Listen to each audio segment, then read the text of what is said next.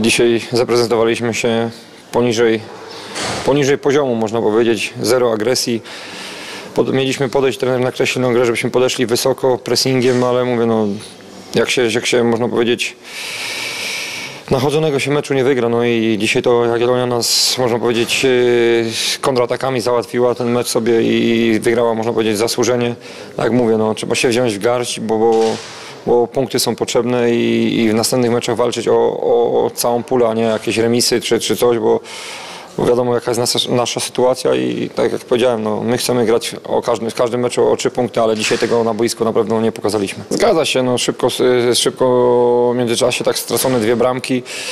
no, podcięło troszeczkę skrzydła, no, potem y, czerwona kartka i ciężko już było to odrabiać. Jagiellonia to zespół, który potrafi grać piłkę, potrafi utrzymać się przy tej piłce i, i pokazał, no ale tak jak powiedziałem, no, nie da się też wygrywać czy zremisować meczu y, tym, że, że, że nie oddajemy celnego strzału chyba na bramkę przez cały mecz, więc